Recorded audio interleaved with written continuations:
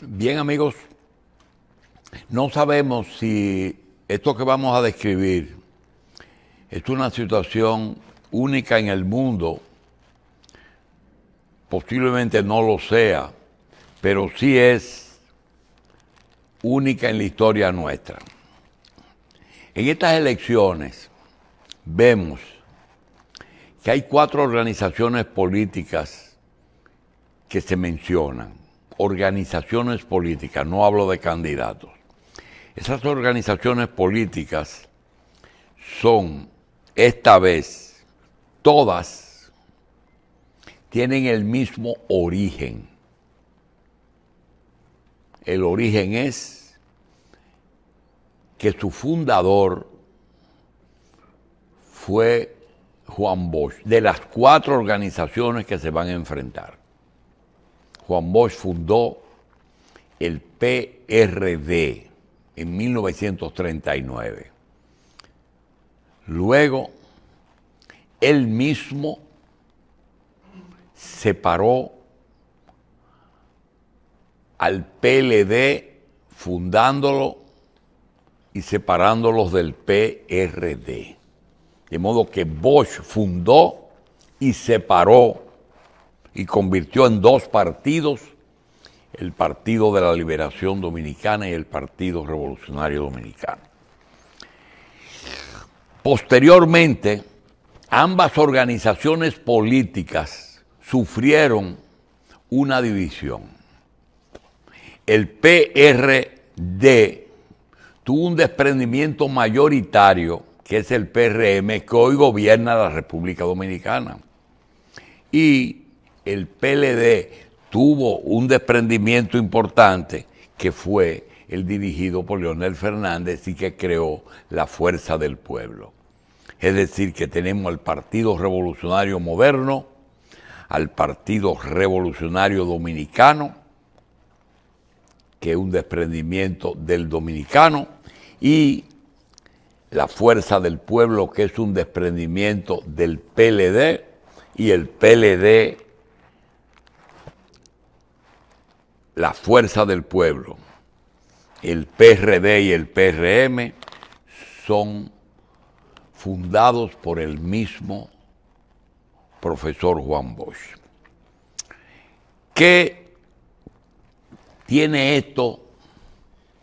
¿Qué, ¿Qué, importancia tiene esto? Es muy sencillo. Al ser partidos que se dividen, no crean nueva militancia. Y si la crean, no crean mucho, crean los nuevos votantes. Pero básicamente lo que hacen es que al dividirse, dividen las militancias también.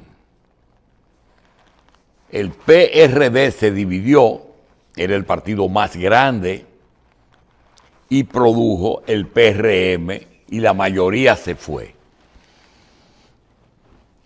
el PLD, que en este momento era el partido más grande y hoy lo es, se desprende la fuerza del pueblo, pero no es mayoritaria, no es mayor que el PLD. Estas cuatro fuerzas son las que se van a medir. ¿Qué tienen de particular? Que aunque la fuerza del poder económico que tiene la presidencia de la República, del poder político y de todas las posibilidades de que el actual presidente y su partido se puedan reelegir, tienen que lograrlo en primera vuelta, porque de no lograrlo en primera vuelta, los partidos que quedarían fuera en una segunda vuelta pueden exhortar a sus militancia a votar por el que quede en segundo lugar. Y perfectamente aquí, si el PLD gana en primera vuelta, perdón, el PRM gana en primera vuelta, no hay nada que buscar. Termina las cosas el 19 de mayo. Si el PRM no logra los 50 más 1, y hay segunda vuelta, Entonces, ¿quién queda en segundo lugar? El que queda en segundo lugar, que va a ser el PRM, pero el PRM no va a recibir los votos de las otras tres organizaciones. Posiblemente el que quede en segundo lugar reciba los votos, porque ya la alianza es lo que dice. El PRD, el PLD y la Fuerza del Pueblo tienen una alianza, y es que el que quede en segundo lugar recibirá los votos de los otros dos. Eso es lo que obliga al gobierno a hacer todo su esfuerzo para ganar las elecciones en primera vuelta. Está claro. ¿Por qué? Porque los dos partidos se dividieron.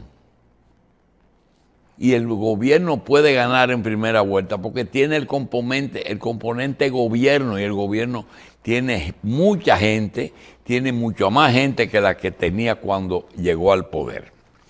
Y tiene recursos, aunque haya crisis. Entonces, estamos rumbo a la consulta electoral del 2024. Se está acercando el plazo para que los partidos y movimientos formalicen sus alianzas, tanto los del PRM, que son oficialistas, como la oposición.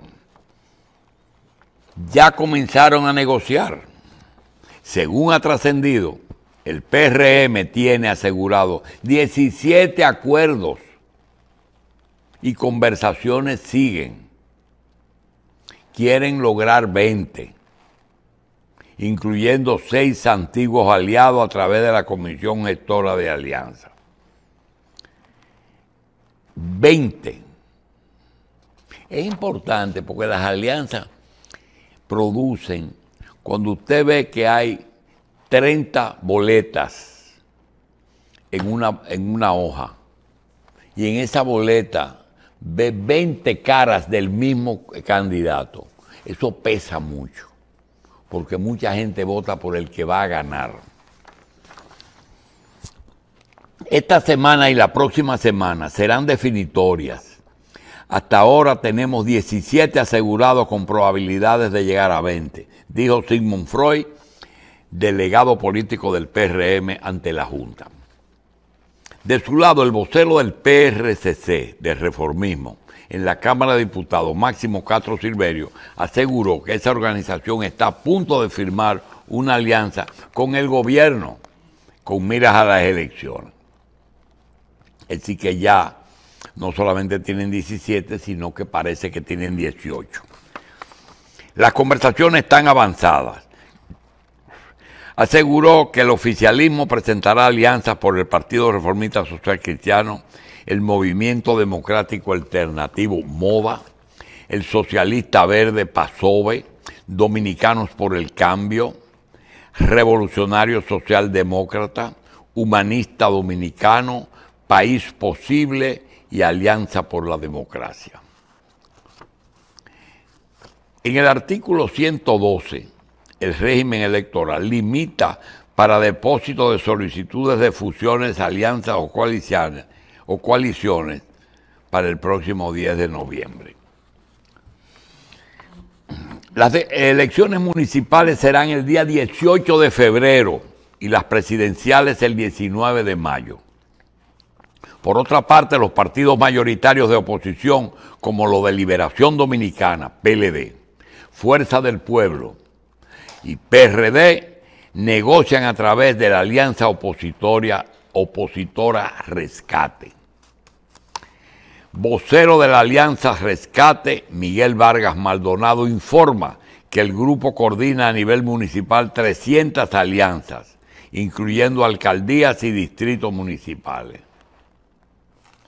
Conforme a los pagos legales que se deben agotar en cumplimiento con la ley orgánica, habrá importantes procesos.